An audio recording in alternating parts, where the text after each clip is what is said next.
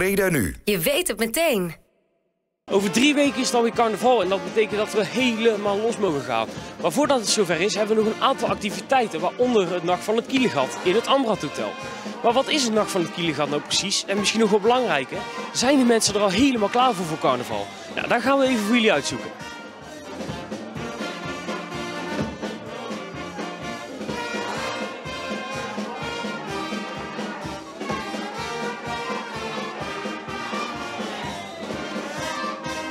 Hier eh, in het Amrad Hotel bij het Nacht van het Kielegat. Maar wat houdt dat nou precies in? De Nacht van het Kielegat is eh, een van de grote carnaval, voor pre-carnavalsfeesten die we, die we organiseren in het Kielegat. Waarbij heel veel kapellen komen en een aantal artiesten. Waarmee we een enorm leuk feest maken. Het voorfeest in het Kielegat, eh, waar alle geburen samenkomen en iedereen feest met elkaar viert. En ja, je, je wordt al een beetje warm, je wordt al een beetje, een beetje klaargestoomd voor het aankomende carnaval. We gaan eh, vanavond beginnen, morgen gaan we klunen.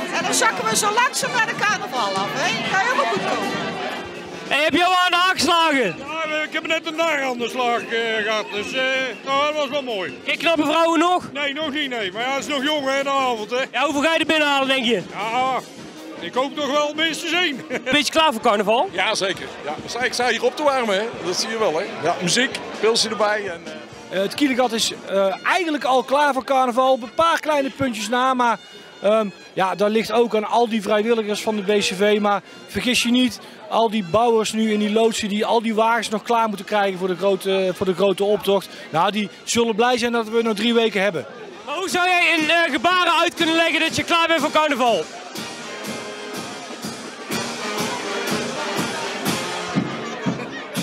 Dat zijn wij het hele jaar, hè?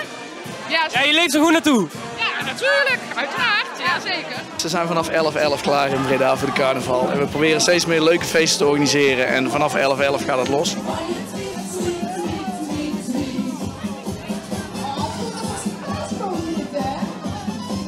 Breda nu. Je weet het meteen.